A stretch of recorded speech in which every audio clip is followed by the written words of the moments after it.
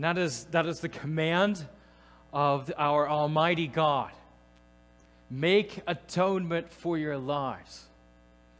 Burn incense, or you will be cut off. Be counted and pay a census tax, or you will have a plague come upon you. I will be in the midst of my people, whom I delivered from Egypt, and they will be, uh, they will be living in my presence. So therefore, make atonement for your lives. There comes a time in each of our lives where we will be faced with something that is going to be fight or flight. The fright part of that is not really up to you. You will be frightened. But in that fright, do you fight or do you flee? We can we are tendency to run from threats. Something is so serious, we want to run from it. But how can you run from God? He sees all, He knows all. You go to the ends of the earth, He is there. You go to the pit of Sheol, He's there. Where can I go to hide? Instead, we are when God says, I have delivered you from Egypt, and now I am come to live with my people in your midst, my terrifying holy presence. I want to stand here with the Lord, yet we must make atonement for our lives. How? How do we make atonement for our lives where a holy God is with us and not crushing us? He's for us and not against us. And before we go immediately go into like Christian cliches, oh, to make ourselves feel better, let's go to the reality of this, the weightiness of this, that God is a terrifying presence. And he is a judge according to his holy standards, the perfect law of God. So let's think upon these things as we approach this text. And before we study it, let us pray to the Father for help. Heavenly Father, once again, we come to that hour, that special time set apart from the week, that we hear your word preached. And we need your Holy Spirit to help us give understanding to your wisdom that it would be wisely applied to our lives. Lord, may we see the great weightiness mm. of our holy God. And Lord, may we rejoice in the good news of Jesus Christ. So, Heavenly Father, we ask for your help. Renew our minds, stir our hearts for a high affection for Christ, and be glorified at this hour. We thank you, Lord, and we ask for your mercies in Jesus' name. Amen. The, the priestly duties cover the priest's senses. There are many bright colors for the eyes and the fabrics surrounding the tabernacle. There's the precious stones on the breastplate, things to touch in the fabrics, the fine linen, and the tent and the priestly robes. Imagine going through the tent and lifting these things. You touch, you see. There are things to taste, in the bread and the good wine and the meat of the offerings the bells ringing and on the high priest's robes. This fills the senses of our, their ears to hear. But now we, now we turn to smell. Yahweh commands a small altar made simply for burning incense the priests will smell sweet and spicy incense burning from the altar of incense before the Lord. And it's between the table for the bread of the presence and the golden lampstand, which is in front of the Ark of the Covenant, where God says, That is there where I meet with you, God with his people. And between the tabernacle and the altar was a basin we could skip over really quickly, but it's a basin for the priesthood to wash their hands and their feet before entering the presence of the Lord. So again, the priests are ritually cleansed before they can continue these other rituals as well. There's a lot going on. And being that this altar is directly before the face of our God, he makes it clear to Moses what not to do with this altar. Look at me in verses 7 through 9. Aaron shall burn fragrant incense on it. Every morning when he dresses the lamps, he shall burn it. And when Aaron sets up the lamps at twilight, he shall burn it, a regular incense offering uh, before the Lord throughout your generations. You shall not offer unauthorized incense on it, or a burnt offering, or a grain offering, and you shall not pour a drink offering on it. It's only for incense. So don't do these things. Uh, this altar was not available to the priest to use it in any way they felt like it. This is not up for debate. This is not, oh, I want you to make an altar of incense, and then, you know, if you want to add some things to it, that's perfectly fine. God says, do this and nothing else. Now, we place, we, we see uh, Yahweh commands an altar for one purpose that's burning incense. And this speaks to how we use the worship of God even today. We place value of our worship on our own experiences of it. Oh, this worship is great because I experienced it as great. How, how did it make me feel? Did it did we sing the music genre that I like, or did somebody sing a music genre I didn't like? Did the prayers that were offered have a deep enough words, or did they go too long, or were they too short? Did the sermon make me feel better? So it's always based on my experience of the worship of God. But really, our worship should be it, it should, does this please my God? Is this something that God said, do this and none of these other things? When we entered into the presence of God to sing his praises, does this please my God? Yet, we can go in many directions with this criticism. Some argue there should be no ritual to worship. Well, it's not here in this text now, is it? Absolutely no ritual. Just do whatever you want, whatever feels your fancy. There should be complete disorder and chaos. God doesn't seem to be disordered. Is, Yahweh is saying yes to ritual, but only the ritual in His Word, not to add things to it or take things away. Yes to orderly prayers, hymns, psalms, spiritual songs, to the faithful preaching of His Word, the public scripture reading. Oh, and with a joyful and thankful heart. So we can miss that, which is completely rationalists. To say, well, if the Bible says to do this, this, this, this, in these orders, we'll make it orderly and as lifeless as possible. And that is not where he says it. Enter in with thanksgiving. Where, from where? Heart to God. With joy, a rejoicing. This is something that you won't find in the world. They have joy, but it's temporary. It's here, there. It's based on their comforts and how they feel about stuff.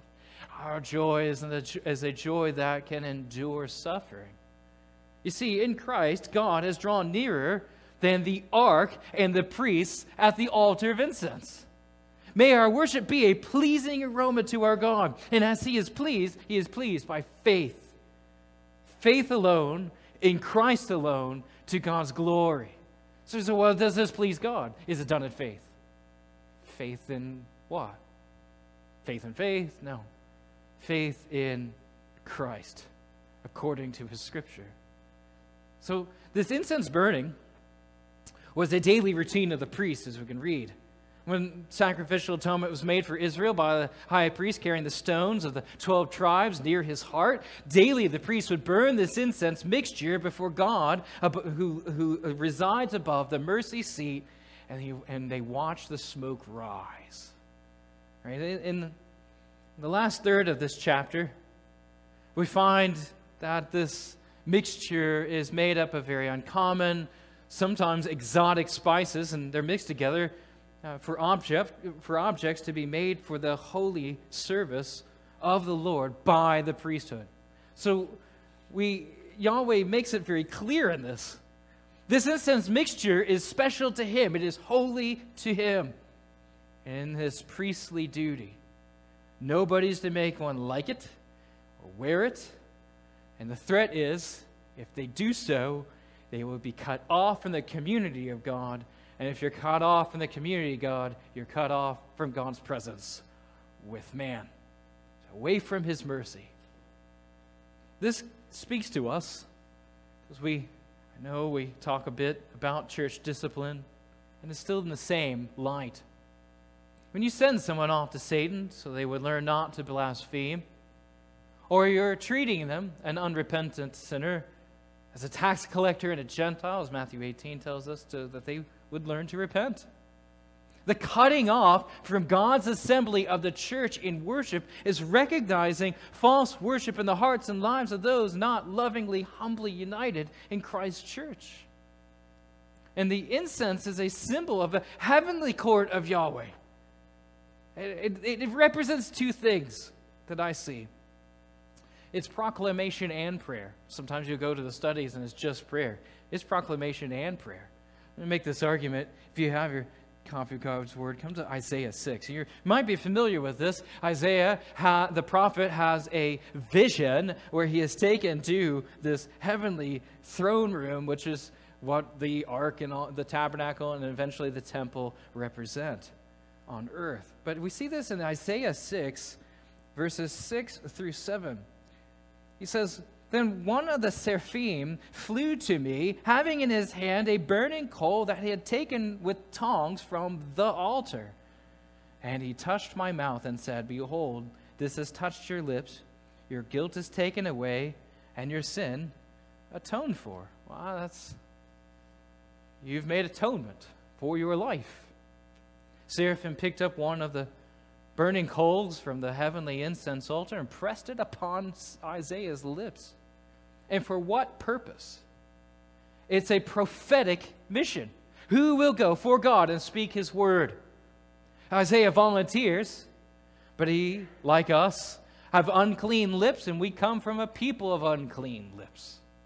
What he is saying is, I speak the very language of sin, which God has now called me to go preach against.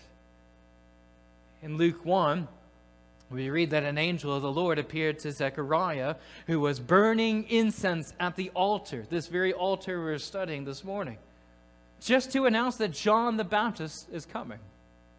Is a proclamation mission coming. The voice crying in the wilderness, preparing the way before the Messiah King will be your son, Zechariah. And the angel Gabriel made this announcement. He stands always before the presence of God. That's how he describes himself. The very God he was burning incense to as folks were gathered to pray outside. Yet Zechariah's doubting made him mute, unable to speak of this announcement, unable to fulfill this proclamation. Again, the altar of incense is connected to proclamation. Gabriel's proclamation, John's coming to be a prophet of preparation for the Messiah as a preacher, and Zechariah's announcement to other people of John's coming birth. Again, the altar of incense is connected to proclamation. But I want to make it clear just from the uh, book of Exodus. If you go back to Exodus 4, look with me here in verses 10 through 12. Moses said to Yahweh, Oh, my Lord, I am not eloquent, either in the past or since you have spoken to your servant, but I am slow of speech and of tongue. Then Yahweh said to him, Who has made man's mouth? Who makes him mute, or deaf, or seeing, or blind? Isn't it not I, Yahweh? Now therefore go, and I will be with your mouth and teach you what you shall speak. But he said, Oh, my Lord, please send me. Send someone else we, we can say that along with Moses. But he's the, he's the one who does the sending. There's this proclamation mission of Yahweh. We shrug off Christ's command to preach the gospel, to make disciples of all people, mainly with the argument I'm not gifted enough. I don't like talking to people about Christ. I don't like talking to strangers. I'm not good with words. What we are, in a sense, saying, I have unclean lips and I dwell with a people with unclean lips. I speak the sin language of the people you are sending me on. Lord, please send someone else. Yet, do we believe this burning coal of the altar of incense is not enough to cleanse our mouths, to send us on a mission, to speak boldly of Christ? Do we deny God's power but by denying his command to proclaim? Thinking, well, that we should send the ones who know how to speak. We should send the ones who know how to do this better. The ones who are extroverted or somebody that is more eloquent than I am. I'll just send them with them, but don't send me.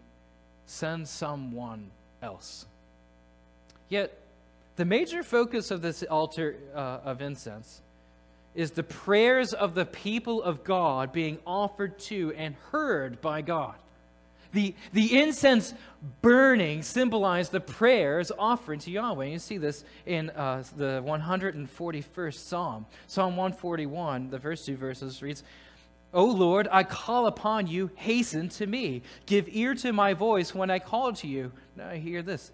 Let my prayer be counted as incense before you, and the lifting up of my hands as the evening sacrifice. So David is referring to this altar.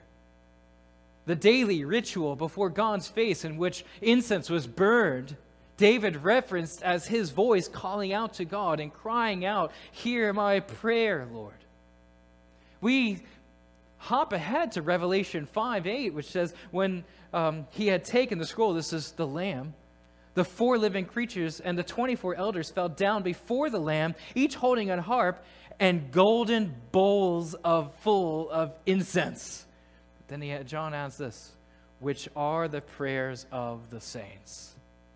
So the Lamb has this golden bowl of this incense brought before him. And John says that is our prayers as saints.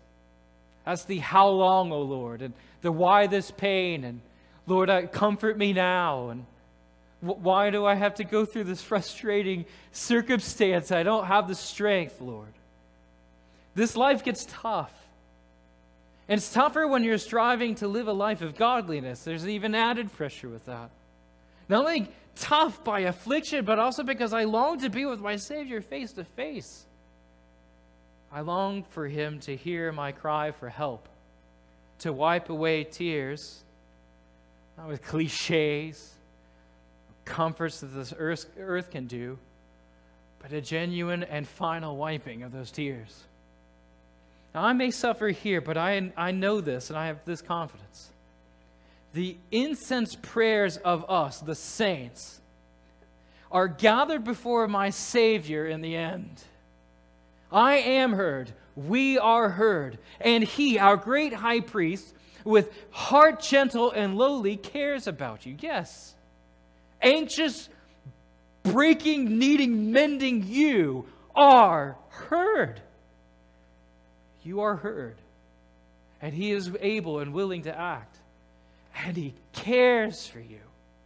We see this in Revelation 8, a few chapters later. Verses 4 through 5 reads uh, The smoke of incense with the prayers of the saints rose before God from the hand of the angel. Then the angel took the censer and filled it with fire from that altar and threw it on the earth. And there were peals of thunder, rumblings, flashes of lightning, and an earthquake. He will take our incense prayers that were lifted to him, and Christ will right every wrong. He will wipe every tear. And with justice rolling like a mighty river, he will judge and redeem this earth we are traveling through. And we, the meek, will inherit. God hears the prayers of his people at the altar of incense. He has provided atonement for your sins, for your lives. Yet this comes to be counted like a census. And with that count, pay a tax to make atonement for your lives. It's the actual wording.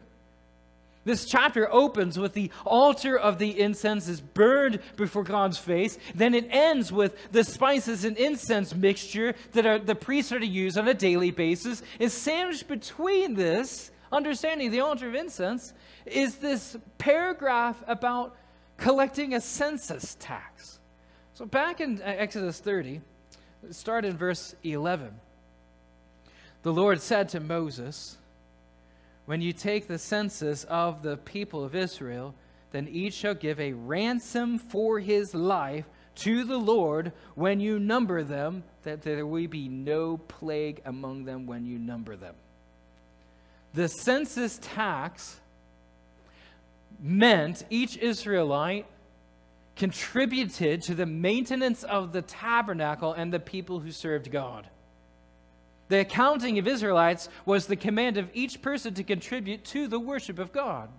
Stand to be counted as God's people. And as you are counted, pay as your worship offering to God making atonement for your lives. The, the very fact that there is a cost for their redemption tells them the very seriousness of the wrath of God. Because this, this command comes with a threat and a word that would pierce their ears. It's not just bad things are going to happen to you. He uses the word plague. They know what a plague looks like. They bore witness to that. We saw the plagues that he did to the Egyptians. Mean those plagues? Yes, those plagues. Make atonement for your lives, and I will not send a plague on you. And you're to be counted to pay as your worship offering to God. The very this this command comes with that threat. Pay your taxes to or Yahweh will send the plague and this, make atonement or pay a ransom for your life. You see this in verse 12 and 16. Let's combine that together. Where it says, When you take the census of the people of Israel, then each shall give a ransom for his life to the Lord when you number them. Now come down to verse 16. He says, You shall take the atonement money from the people of Israel and shall give it for the service of the tent of meeting, that it may bring the people of Israel to remembrance before the Lord, so as to make atonement for your lives. No plague among the number counted in the census will come if you pay this. It's in the sense that God is holding back plagues. It's his own wrath. He says, I'm holding back my wrath. Pay. Pay your taxes, or is going to come. He will continue holding back the plague so long as the people are faithful to pay this tax. There's a, there is a need to run from God's wrath and be saved, basically. I, I, hear, I hear this cliche the devil's going to get you. I, no, he's not. He, he's been rendered powerless. He's a liar, a tempter, an accuser. He lies, tempts, and accuses for what? God's wrath. And I'm assured that God's wrath is held back, but not, not because of Satan, not because of my faithfulness. I'm not afraid of Satan. I'm afraid of God. And God demands our holiness, our service, and here demands even my money.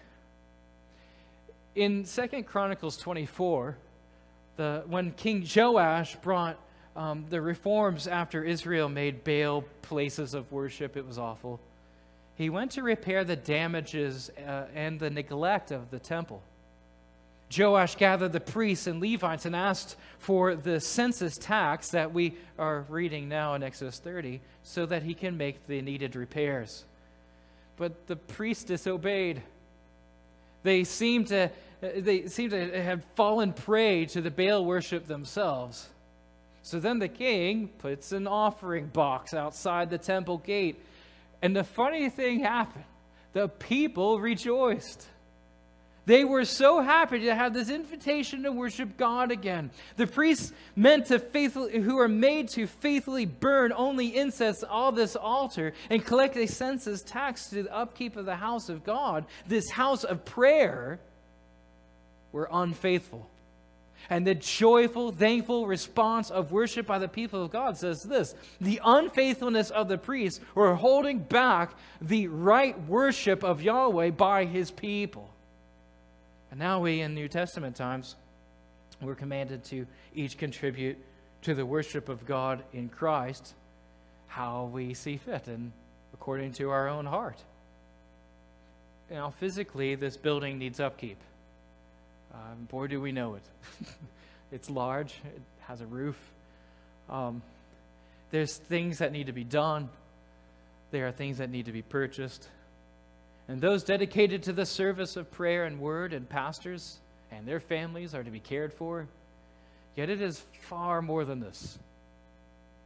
There are those who give with a heart desiring reputation the reputation of godliness. Like kind of like the parable of Jesus taught about the Pharisee praying before God's presence, thankful that he gives more than required.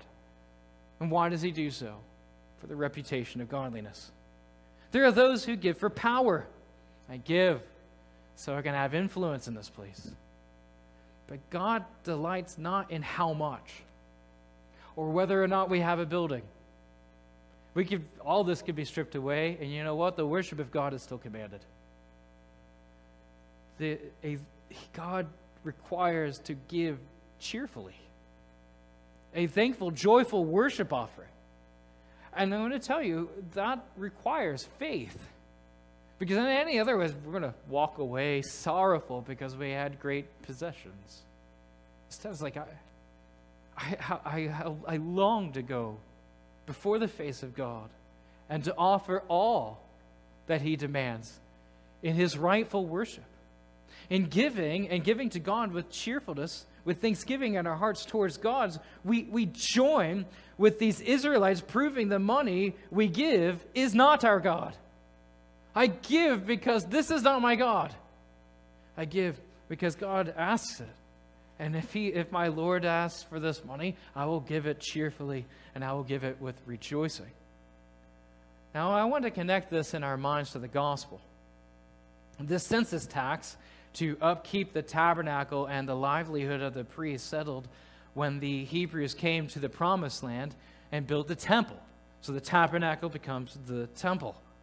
This over time became the temple tax as we learn the time of King Joash. Now we call it a temple tax.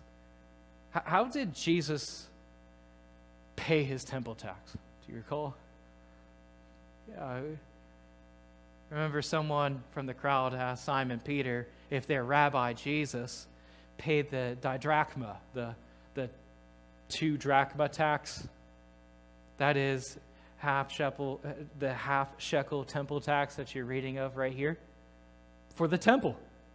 And Peter, as he does, he just says before knowing, Yes, of course he does. But then Peter went to Jesus, and without even prompting, Jesus asked, it just, if earthly kings collect taxes from others or their own sons. Well, Peter answered, Well, when kings demand a tax, he doesn't tax his own children, he taxes others. Makes sense. Jesus said, Therefore, the sons are exempt. Well, that's, wow, that, that's amazing. Yahweh, king of the temple, does not collect taxes from his own children. Now, get this. Jesus said, let's not offend them, meaning those who ask about the temple tax, go ahead, let's go ahead and pay it. Simon, fisher of men, go outside, go fishing. And inside the mouth of that first fish you catch, you will find a whole shekel. Remember, half a shekel is required. Go ahead and pay that whole shekel for me and for you. Jesus paid both his and Peter's temple tax. Peter didn't go out and earn that. Where, where'd you get your half shekel to pay the temple tax, Peter? Well, um, so Jesus told me to go fishing, and I just, the temple tax came out of a fish's mouth. Um, it was free. It was free because he's a son. Jesus puts, puts feet, you know, right there, the, a living parable before Peter. I'll pay your temple tax. I'll pay it along with you. Jesus gave Peter the coin for the offering plate like a parent gives a quarter to a child just to feel like they're included in the worship of God. Well, the offering plate, everybody else is putting it in. Well, I'm going to give it to my little kid that way they can joyfully join in the service. This is like this communal thing. And how nice would it be to pay our earthly king's taxes by just going fishing? Um, but wait, your temple tax to Yahweh is much, much greater. Earthly kings to demand earthly materials. Pay this census and make atonement for your life. Pay the ransom, the value of your life. That's God's wording, not mine. How much is your life worth to you? How much do you need to pay an eternal God who has everything that you may buy for yourself eternal life? Answer you can't afford it. You can't. And this is usually where the prosperity gospel preachers go off into some really crazy idea about how much you need to give to this church and into my ministry and line my pockets that you may be blessed. God's not withholding blessing from you because uh, what anything I could command because that's going outside of Scripture. I'm telling you what it's saying in here. You can't afford it. You can't pay atonement for your life. You cannot buy everlasting life. You cannot pay the ransom that is upon your soul. If you want to buy everlasting life, you're going to have to have an everlasting treasure, and you've got nothing of it. But Christ does. Christ pays the atonement money like he paid for Peter's temple tax to be in God's presence for you. God demands from his law his perfect worship, and in that perfect worship is to pay a high cost that's too high for you and me to pay in a thousand lifetimes of earnings. Christ has the perfect payment. You were bought with a price, beloved. And that price is Christ and Christ alone. God demands joyful worship. We came downcast in Christ, he gives joy by his free mercy. God demands peace and total trust, and we came in anxious and heavy burdened. In Christ, he gives rest and peace by free mercy. God provides the perfect worship he demands freely in Christ and in Christ alone. Martin Luther once quipped, that it is our responsibility, especially mine as a preacher, to get the gospel to your ears. And God will get it from your ears to your heart. And that is my heart's plea before the Father now. That is my offering of incense. As my prayer for each of you rises like the smoke of this incense, that you would get this. As you walk in your mind through this tabernacle court, picture the sights the priests in the holy garments, slaughtering animals before God for your forgiveness, burning incense, collecting money. Hear the sounds of the bells of the high priest representing you before God who, to go in there to offer prayers for you and for your forgiveness. Think of the feeling of the priests touching the linens and the fabrics, the, putting their hands on animals to, that they're about to slaughter, touching the table, touching the altars, but never touching the ark. Think of the taste of the bread of the presence and the, the wine for the drink offering and the cooked meats of sacrifice to God enjoyed by these priests. Now turn your attention to the smells. This potent mixture of sweet spice, it's intense. And they're the incense as your pleas for mercy are taken by the priests and offered to God. Hebrews 9 refers to this very tabernacle tent, the priest's duties of sacrifice, and also this gold incense. In Hebrews 9, verses 11 through 12, it reads this They, um, when Christ appeared as a high priest of the good things that have come, then through the greater and more perfect tent that is not made with hands, that is not of this creation, he entered once for all into the holy places, not by means of the blood of goats and calves, but by means of his own blood, thus securing an eternal redemption. He secured your eternal redemption. You know, who pays this, this price? How can I pay this for my life. In Christ, our pleas for mercy always burns in the perfect once for all high priestly incense. He intercedes where our prayers muffle into groanings like the groanings of this creation. We are heard, though, and we are loved by the Father. We should not read Exodus 30 with this hopeless weight upon us. God commands us to make atonements for our lives, and He commands that we would do so perfectly. Or else a plague will come upon us, or else we will be cut off from His presence, or else we will surely die. So we must make payment. So I say, look. Look upon what Christ has done and who He is. He has paid our tax. And in His Lamb's book of life, we are counted in the census of God's people. Look at Christ's continued faithfulness for you even now. Faith, beloved. faith in Christ's payment to make atonement for you. This pleases the Father perfectly. Want to be a pleasing sacrifice to God? Then trust in Christ. Don't look at your own works. Don't look at, well, this is what I offer. We offer to God Christ, look to Him, look to His works, be saved from the coming plague, be saved from ever being cut off from His presence, be saved to enjoy His presence now and forever. I ask the band to return up here and becoming a singing church once again. And as we prepare to sing praises to our gracious God, let us pray to the Father together. Heavenly Father, this the price for our souls to enter into your eternal glory, into your presence forever, to enjoy you forever, as a, high, a price too high for us to pay. The very fact that there is a cost to pay challenges our minds. We think that we have rights and we have none.